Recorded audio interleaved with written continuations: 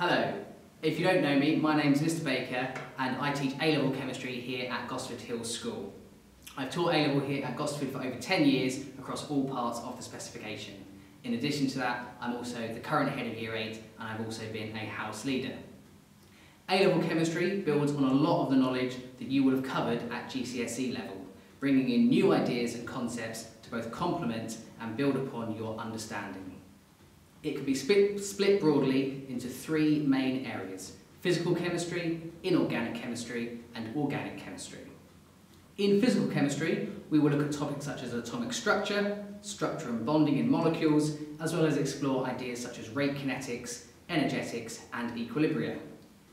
Inorganic chemistry, focuses on those elements of the periodic table that are not the element carbon. We will consider the reactions of uh, groups such as the alkali metals and the halogens, looking to use our knowledge from physical chemistry to explain the trends and observations that we make. Organic chemistry is the opposite of inorganic chemistry. It is solely about compounds that contain the element carbon. Here we will study groups of compounds such as the alkanes and alkanes, the alkenes, which you'll be familiar with, alcohols and halogenoalkanes, aiming to understand the reactions they are involved in and how these can be used to produce useful chemicals for the modern world. We will also consider analytical techniques such as infrared spectroscopy and mass spectrometry that can be used to analyse these molecules. Alongside these three branches of chemistry, a large emphasis will be placed upon approaching chemistry in a quantitative manner, particularly by using the idea of the mole to calculate amounts of reactants and products in different reactions. It is therefore a requirement of the course to have achieved at least a grade 6 in GCSE mathematics to be able to cope with the mathematical demands on the course.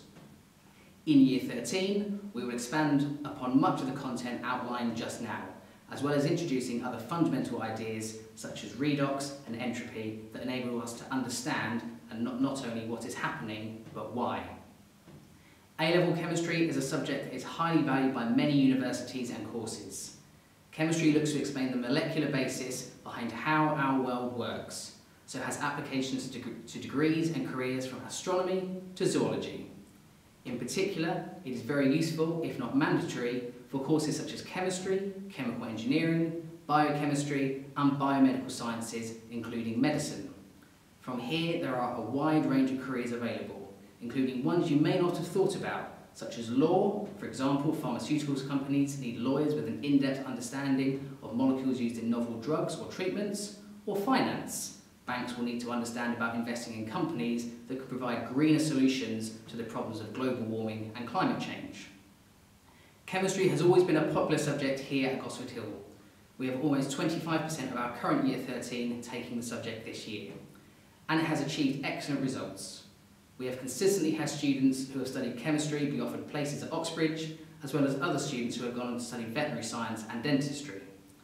In 2019, chemistry had some of the top results in the school, with 55% of students achieving either an A or an A star grade. To study A-level chemistry, you will need at least a grade 6 in GCSE chemistry or a grade 6-6 in GCSE combined science. As previously mentioned, you will also need a grade 6 at GCSE mathematics.